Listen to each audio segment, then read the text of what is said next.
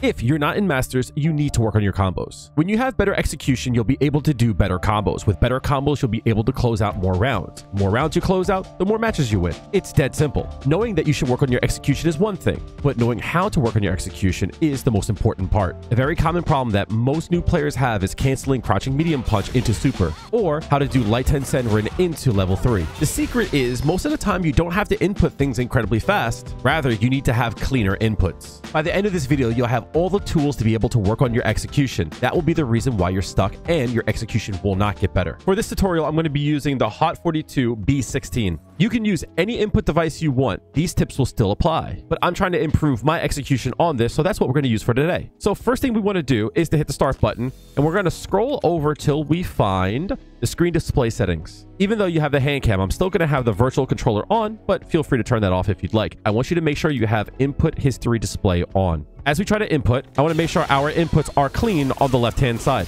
If your inputs look like this, well, we have some work to do, but we're going to get you right. The next thing we're going to do is hit the start button, and we're going to scroll over to environmental settings, we're going to turn the game speed on 50%. And this is the key. With the game on half speed, we can do the inputs as slow as possible. I want you to forget about speed. I want you to do the inputs as slow as possible and as clean as possible. If we look at our inputs over here, we have the DP motion, and that's absolutely fine. But if we look at our super input, we are missing a corner. And even though we got the super, that's what we want to clean up. And this is why I want to have the input display on so that you can see what you actually were doing. Let's first start off with crouching medium punch into super. With the game one half speed, I'm going to do this input as slowly and precisely as possible. Even though I didn't get the input, if you look, we have a crouching medium punch and quarter circle back, quarter circle back, punch. This is exactly what we want to see. We want to be able to see all the inputs cleanly and properly inputted. I want you to take a step back and make your wing condition not getting the super, rather making sure the input is properly inputted. The reality is as speed increases, the chances of you doing it wrong increases. And I know many of you will be doing inputs like this. And even though you might get the input, it doesn't matter because you're not consistent.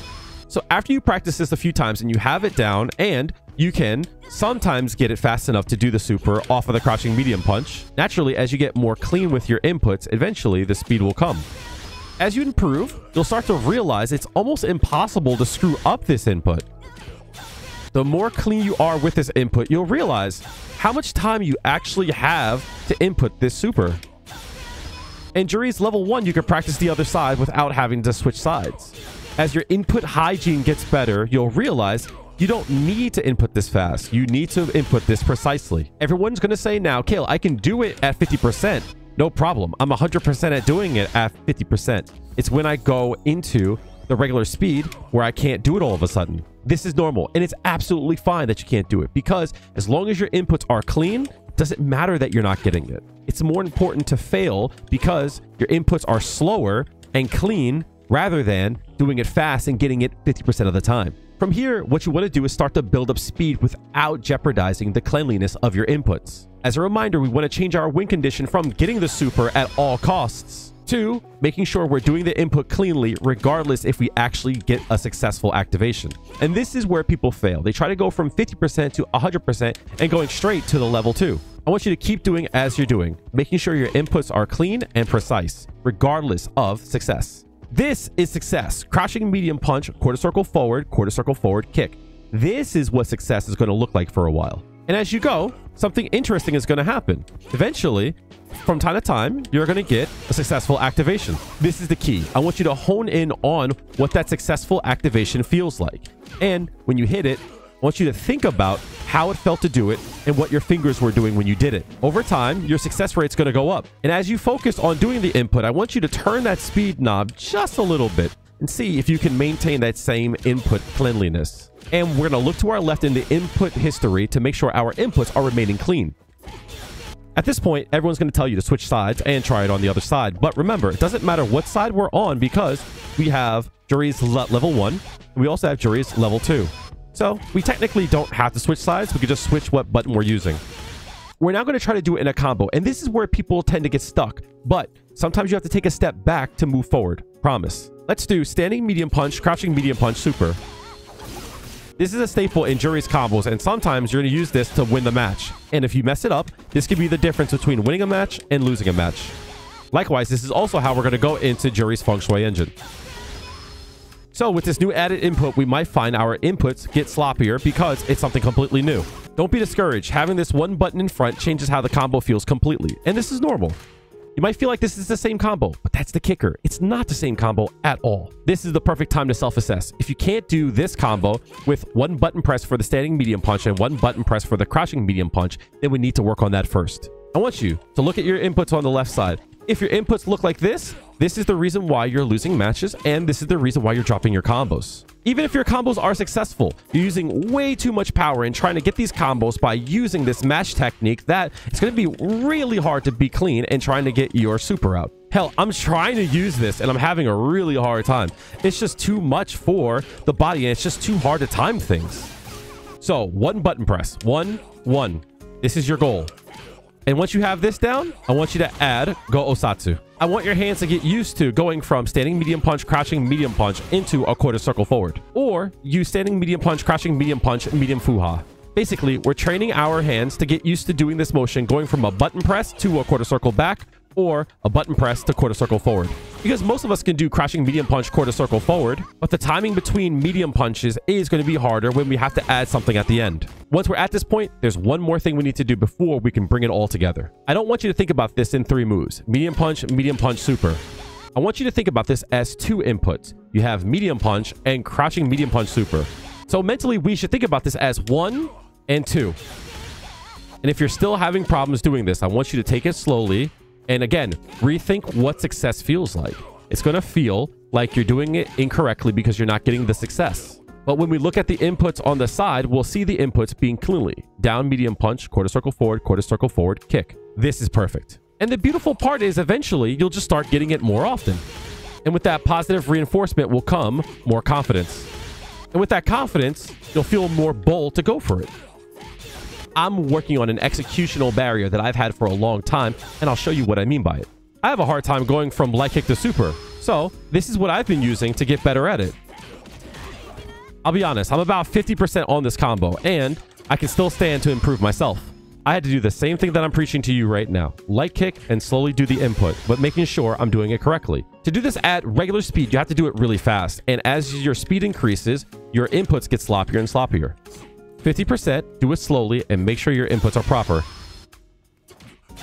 And now that I'm feeling confident, I'm going to change my speed from 50% to 100%. Now that I'm trying to do it, I'm realizing that my inputs are fast, but they're not clean. So I'm going to do it slowly and make sure that my inputs are clean. Checking on the left side, quarter circle back, quarter circle back, punch. Perfect. Let's go back to 50% and make sure we still have the right idea about this input. As I increased the speed, I forgot what it felt like to do that input cleanly. All right, let's go back. I'm not going to break this down into one, two, three, four. I'm going to break this down into one, two, and then three. One, two, three. One, two, three. One, two, three. And once you get this down, combo routes that you never even thought of start to open up or combo routes that you thought were too possible that all of a sudden you need to hit it at that time are now possible. Using this trading strategy, let's go into Tensenrin into level 3. I'm going to turn my camera off for a second. This combo is useless because it is the harder option to use and it actually does less damage than just using Go Osatsu.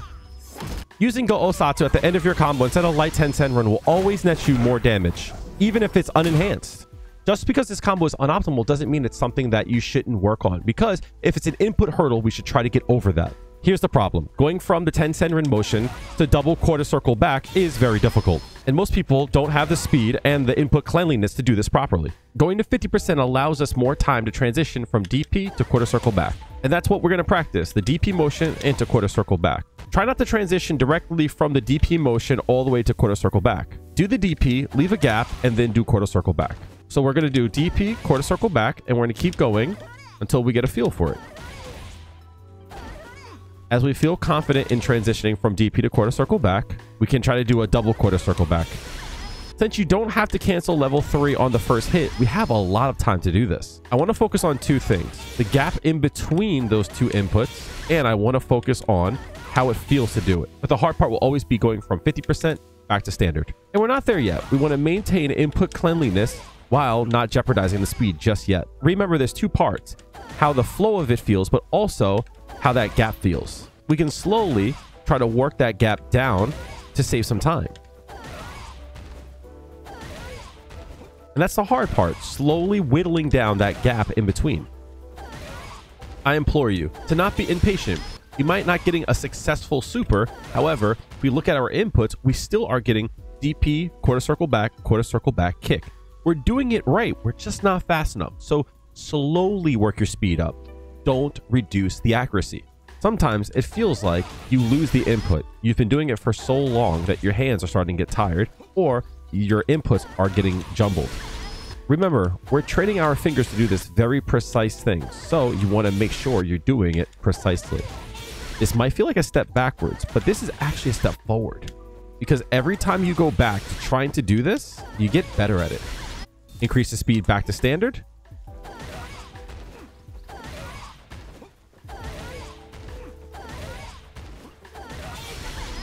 For this, try not to spend too much time waiting for the Tensenrin to hit. Once you input the punch for the Tensenrin, you can start to transition to the quarter circle back. If you got this far, do the Tensenrin and then try to shorten that gap in between the Tensenrin and the quarter circle back. If we start to bring it together, it starts to feel like one motion. Going back to 50%, we should feel a lot more confident doing this input because we have the speed down now. Now that our input is cleaner, let's go back to 100%.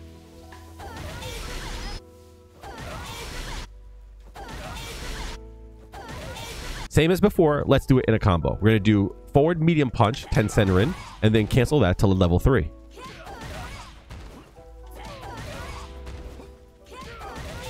There we go.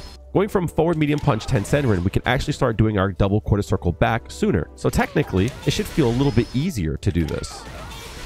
Let's do heavy punch and Kensatsu, forward medium punch ten Tensenrin, level 3. This will be hard at first, but I want you to think about the gap in between the ten Tensenrin and the level 3. That shouldn't change. That to me is the most important part. It doesn't matter that we're doing forward medium punch into ten Tensenrin because it's all about that gap. We should reset after the Tensenrin. Every time we do this, after the Tensenrin, it should feel like we're stopping and then double quarter circle back in. I break this down into three sequences. The heavy punch in Kensatsu, the forward medium punch into Tensenrin, and then the level three. So for me, it goes one, two, three. One, two, three. I don't break break this down as in one, two, three, four, five. It's too much. One input, two input, three input. And with all these combos, I urge you to work these into your combo drills do a combo, and make sure you can end on what you're trying to work on. Think about situations in which you would use these combos in your everyday matches. This will start making the connection between your hands and your brain and store that so that if you need to use it, you can pull it out.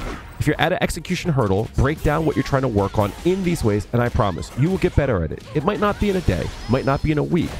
It took me so long to get this down. I practice this almost every session. And I'm at the point now where I have a pretty good track record of being able to hit this. This legit took months and was worth it because now I have it for life. This is something that I will never forget, no matter even if Street Fighter 7 comes out. So if there's anything that you're having a problem with, break it down step by step and don't work on speed yet. Try to get clean with your inputs and the speed will come. If this video helped you at all, make sure to like and subscribe. And if you try this out and you get good results, let me know in the comment section below. These are questions I answer all the time on twitch.tv slash or here on YouTube. Monday, Tuesday, and Thursday, 7 p.m. to 10 p.m. Eastern Standard. Hopefully, you'll join me on my next stream, and I hope the video on screen is something you're looking for. YouTube thinks so. Have a good one. Tell your loved ones that you love them, and I'll see you in the next video.